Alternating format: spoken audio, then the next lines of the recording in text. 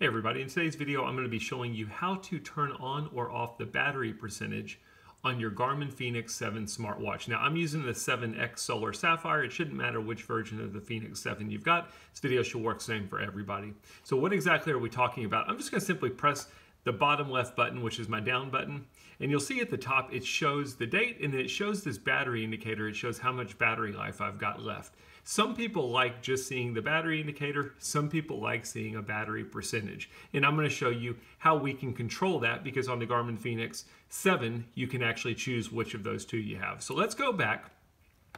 Let's press and hold the middle button, which is our menu button.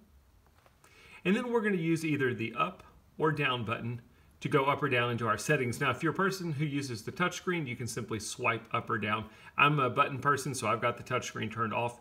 We're going to go up until we get to Power Manager, and then we're going to press the Start or Stop button, which is the upper right-hand button, to go into Power Manager.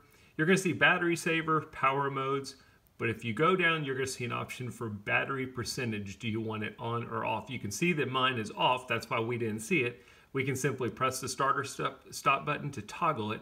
It's a simple toggle. You can either have it on or you can have it off.